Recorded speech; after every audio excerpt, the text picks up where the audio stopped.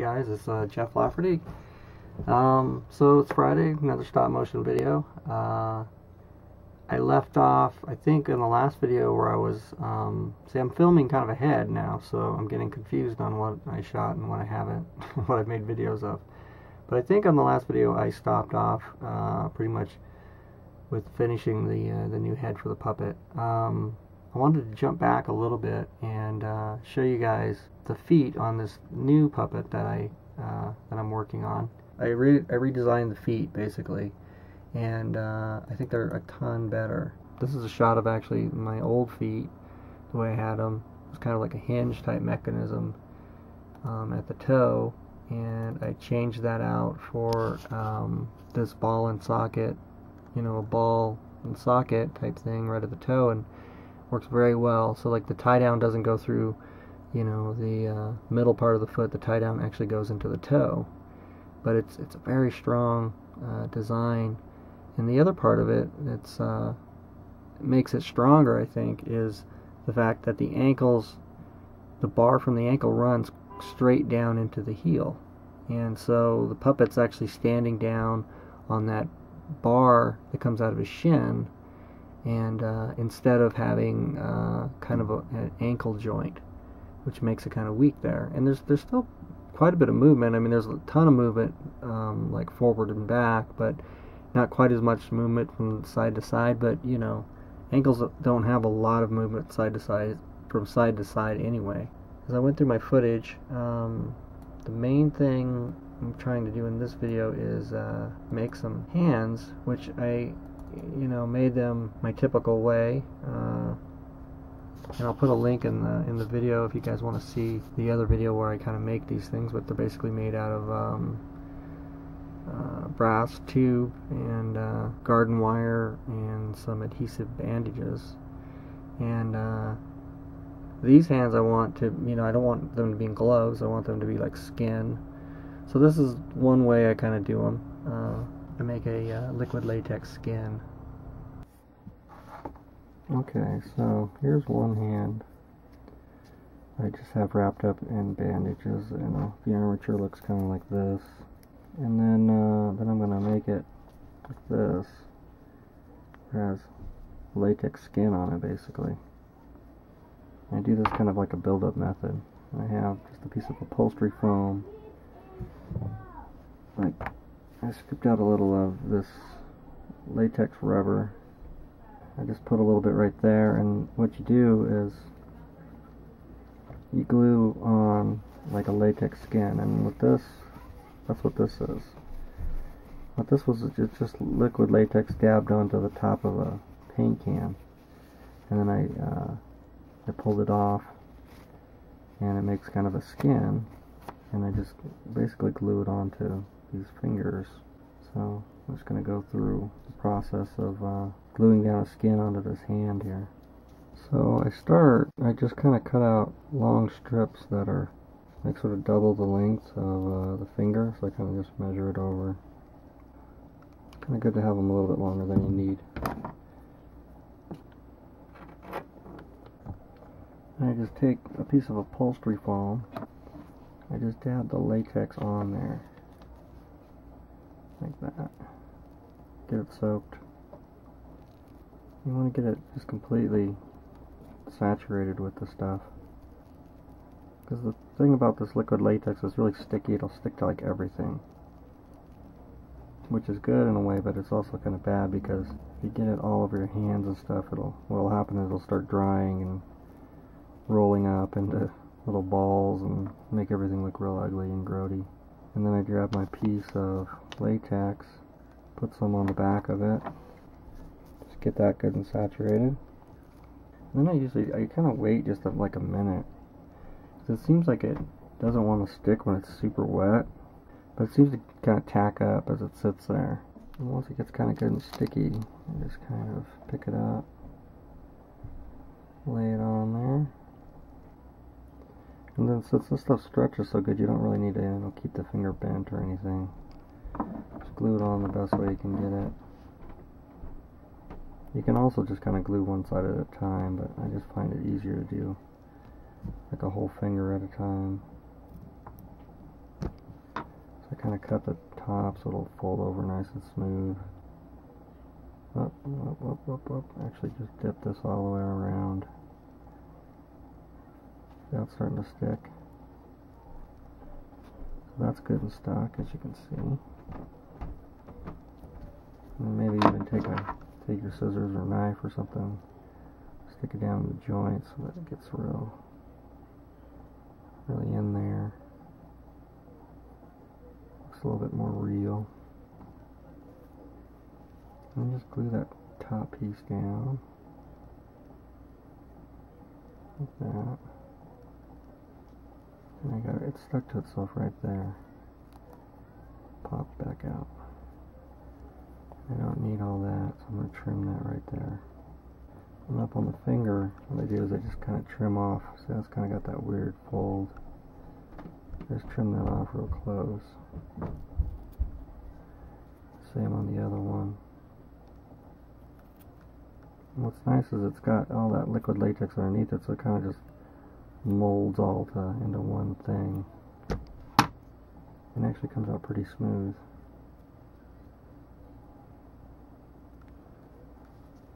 Maybe not as smooth as like if you stuck it in a, you know, like you could control your shapes more if you made a mold. But I don't know, I like, I, I just like doing it this way. Alright, so there's one done, and then you start moving around the hand and do the rest of the fingers the exact same way. Okay, so I got all the rest of my fingers on there, and I'm gonna get do the do the thumb, same exact thing dab it on there. You just stick on the, uh, the piece. I think the key to doing this is just being like patient and not going too quick. Because it's kind of like all sticky, so you don't want to go too fast and let things start sticking to themselves. So let's see. When I do the the back of the hand and the palm, I kind of try to do it all in one piece. So I'm going to go this direction, wrap around. That's going to fold in there, that's going to fold into there. And I'm going to just trim it the size I need. Alright, so same deal. Put some uh, liquid latex on here. I just do one side and then the other so that I don't have like a giant piece of wet latex kind of in the way, you know.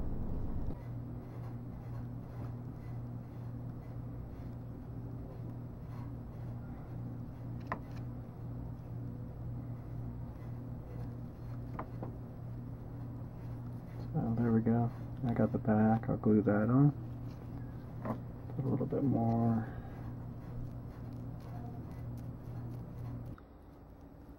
So there, there it is. I just glued the back down. Wrapped the edges. And uh, came out pretty good. Had a weird wrinkle right there. Uh, but, yeah. Also, I wanted to show you, like, you know, I usually, this is kind of how I work with a lot of sticky stuff, like epoxy or this, but I just kind of tape down a piece of paper, and then at the end, like when you're all done, and just throw the whole thing away. You don't have to like, you know, wash anything or anything, so. Okay, so I got my hands done. Um, that's how they look. Um, I made a little holder because I'm going to paint them now and I need something for once I paint each one to stick it back in there and let it dry without touching anything else. Um, when I paint, I've done I painted latex a few different ways. I've used Pros-Aide and uh, also uh, some stuff from I think it's called Monster Makers is where I got the stuff. It's like kind of a, this low tack adhesive, which is basically Pros-Aide. Not quite as tacky. And um, the best way I've actually come across is actually just to mix uh, normal acrylic paint like this stuff here you know, golden and all that, into uh, the li liquid latex. And um, I've heard a couple different, you know, recipes.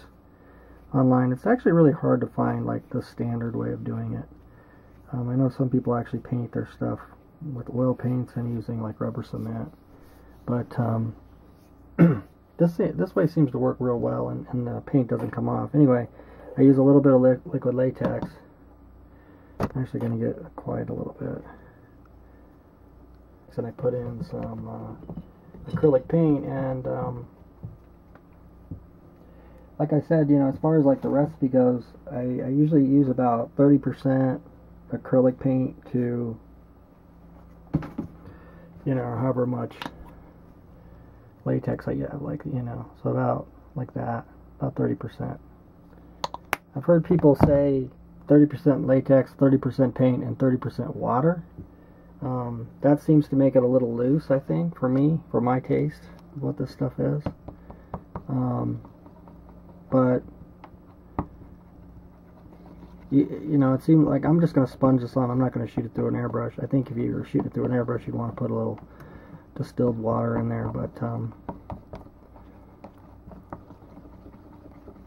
this is going to work just fine for me. And I just give it a good mix. Okay, so I got my hand, kind of shape it up like that. Got my mixed up liquid latex and acrylic paint, and um, and then, you know, piece of cushion foam. And then I just kind of dab on a coat. And this is kind of like my base coat. And I end up, I go ahead and I just paint it all black because um, it kind of acts like a filler coat too. Since it's liquid latex, it just fills in all the little nooks and crannies. And I usually put like two or three coats on, just like, just like this. Is I just dab it on and I just kind of quickly go over the whole thing. And not try to get any pools or anything like that just get a nice even coat. Oh, kind of losing it. Whole way around. And this stuff's going on pretty gray but it's gonna probably turn black and if it doesn't then I'll put a little more black in a good way to do this would actually have, you know, have it would be just have a container with a cap, mix it up, and then put the cap on it so you could use it later. But of course I'm not organized to do that right now. So you see, it's a nice wet coat. And what you don't want to do is just keep patting this stuff until it starts to dry. Because then you're going to start lifting it back off. Because liquid latex gets real sticky, so you just want to put a wet coat on. And then what I do is I just grab the hair dryer, dry it out. Okay, so there it is. Uh, I just hit the hit it with the hair dryer for about a minute, and it's you know it's dry to the touch now, already more sticky. And that's basically what you want. You want the paint to stick to latex, and since it's moving and it's rubber, it's not going to want to stick if you just you know grab some acrylic paint and start painting it on there. So that's why you want to do like a prose or, or this kind of mix or rubber cement or something. Um, so I'll just go ahead and do that to each one. You can see it's already turning blacker. You can see the liquid latex through it, but it's black, so it's, you know, black enough. So I'm not going to add any more paint to it. Alright, let's go for the next one. Same deal. It's the toughest part on this whole thing is just getting in between the fingers. flip it over to the next side. And, you know, like when I first tried this, like a long time ago, one of the things I, I remember was I just wanted to just paint it like right through. I just wanted to just start and go all the way through.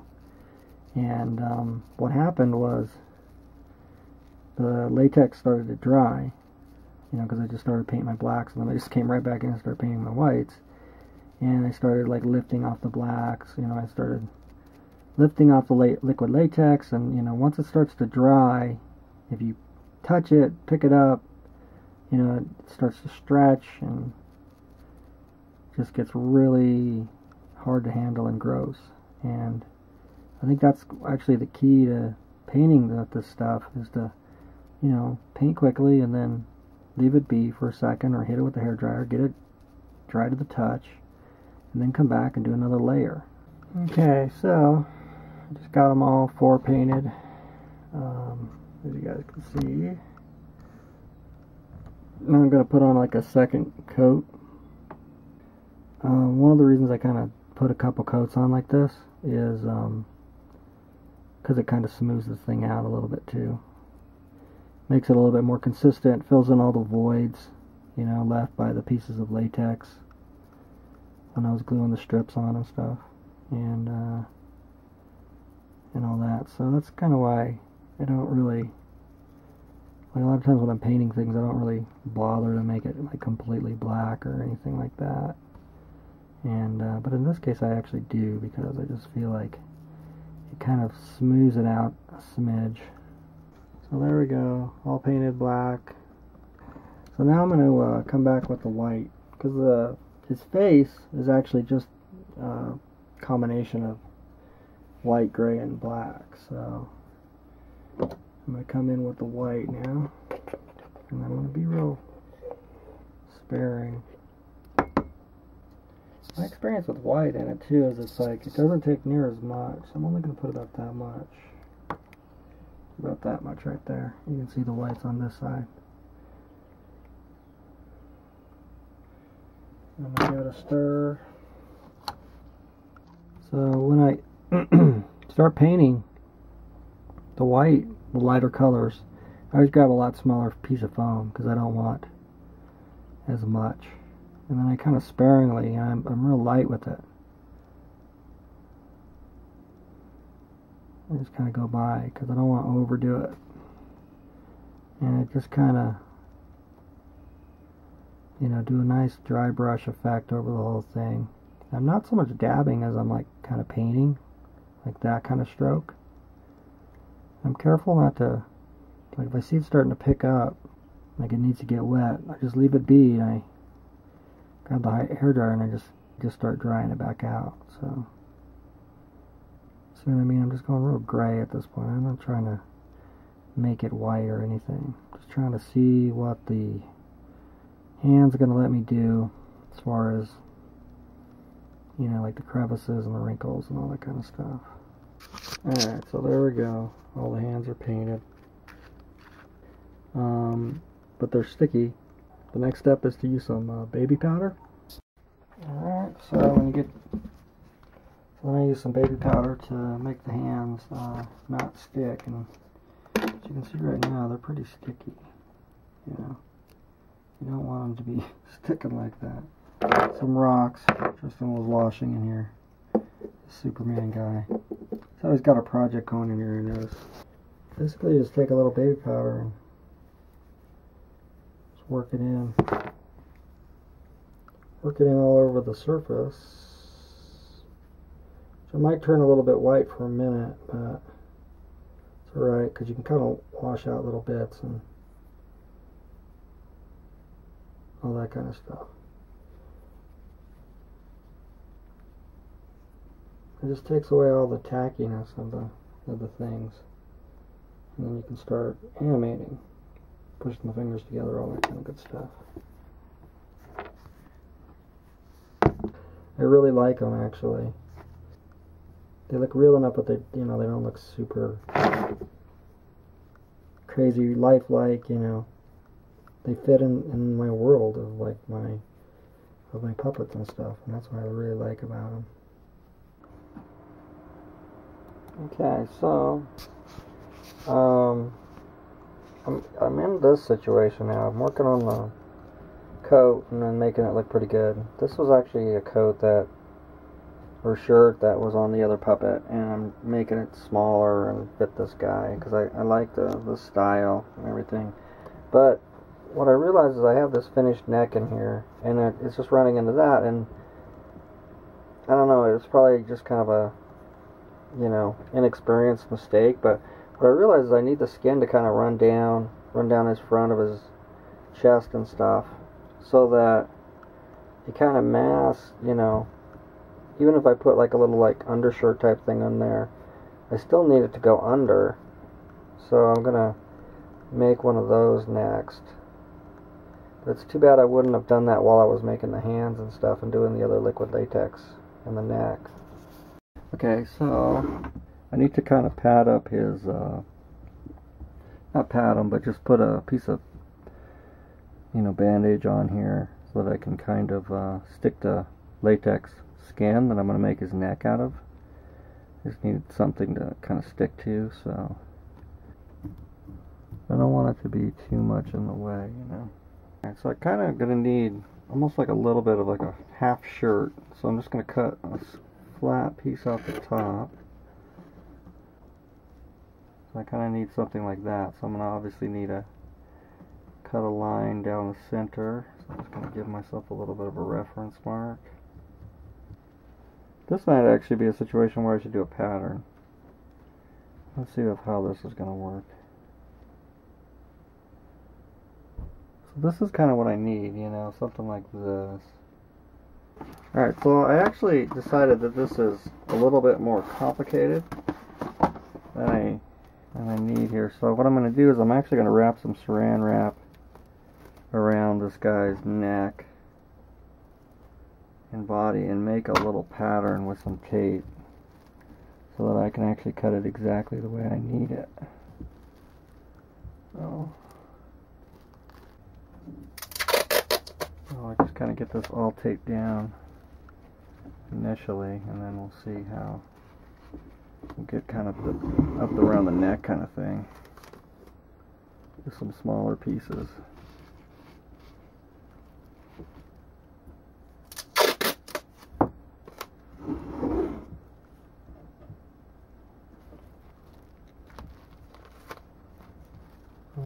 Trim this back a smidge. Kind of get it stuck down where I need it. I'm a little worried about it coming so far out on that joint. So I'm going to cut that back a smidge. I don't want it to be binding up in that joint.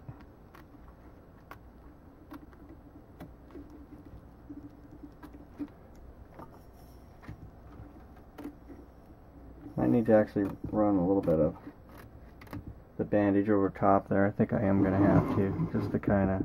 I like to keep the joints actually ex exposed as I can because, you know, if I need to tighten one or one breaks, or not, not breaks, but if I need to tighten one while I'm shooting, then I can get to it a little bit easier, but I think in this situation I'm definitely going to have to cover that shoulder. So now I'm kind of using smaller pieces to make the, neck part. So it actually has to be glued to the uh, the neck for this to work, or it's just going to sink down and make a big gap. So and I had to throw quite a few more pieces of tape on there than it's probably necessary. So I want to make a mark on the armature too, where I need that bandage to come out at. Now, just want to take it off of him. So, I cut it up the back.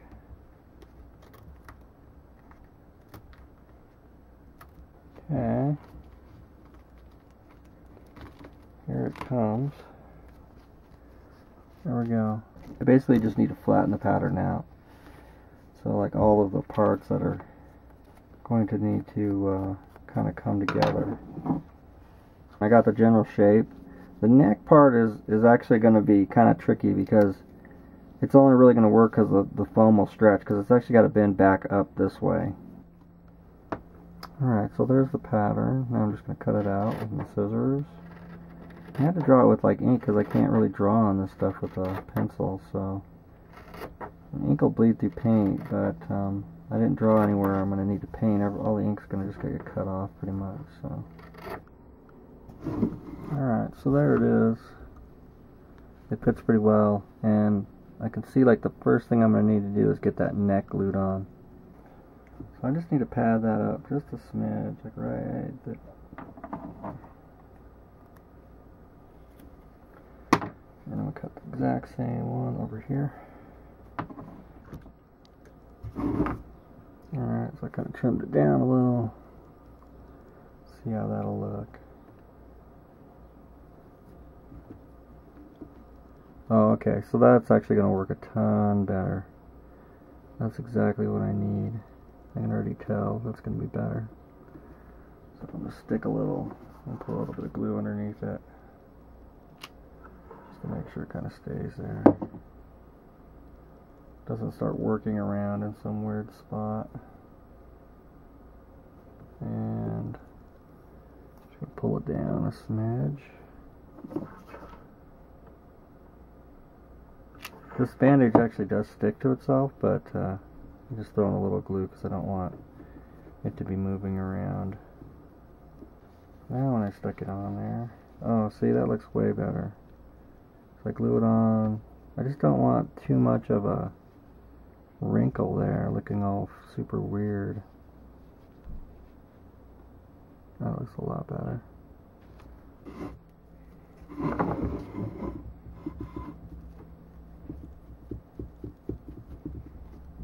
Not quite sure I can glue this in parts, so I'm just gonna gonna go for go for the whole thing in one shot.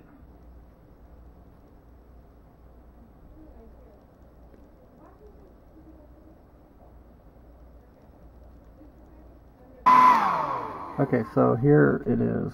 Um, it looks pretty decent. Bring it over the camera. I got that liquid latex sitting there. It looks pretty decent. Before I start bending around on it though, I'm going to try to glue it the rest of the way down with uh, a couple coats on top before I even even try to paint it. And I'm just going to dry those coats on so it kind of makes like a nice little sheet of rubber that runs from his neck to down in here. That's real nicely. I mean, you can't even hardly see the seam anymore. It's really sticky still. I'm just going to go straight into paint. It's going to be black. And I'm just going to put a coat on. Alright, so there it is all painted. I kind of just skipped ahead. Um, it's already dusted with like talcum powder and stuff, so I usually just take a brush, like a wet brush, and just kind of wipe over him. And that kind of gets rid of all the excess talcum powder. And like once the talcum powder hits the latex, it I don't know if it just works into all the crevices or what, but it just takes away all the stickiness. And even if you you know get it wet, still not sticky anymore. So I just kind of wipe it all down and then kind of takes away the whiteness, and then uh, it's fine. It's totally good. Okay, so I guess I'm to go ahead and wrap it up there. Um, the neck worked out pretty well. I was pretty happy with it. I've got to figure out a, a better way of uh, filming. Um, I this week I just kind of just filmed and filmed and filmed and, and then I got to the end of the week and tried to make a video and wow that was a hard video to make because it was just like so much editing in one day I kind of blew a whole day editing so I think what I'm going to try to do is switch these around and kind of try to make them um, not put out daily videos but just try to you know edit what I do each day after I get done and then uh, have the video come out at the end of uh, you know, on Fridays like usual. Um, I'm also like trying to like figure out like the length of the videos because it seems like I'm doing like a lot more than what fits into a week. So um, I think this one's like already up to like 20 minutes, and uh, it's just like and only I'm actually quite a bit further on the puppet. So anyway, uh, thanks for watching, guys. I, I hope you enjoyed it and I'll be back next Friday with another video. Um, let's see, subscribe, like the video if you want to, share it around, that's cool, I appreciate that. And uh, also I'm on Patreon if anybody wants to, you know, help me out and support my work. See you guys next week.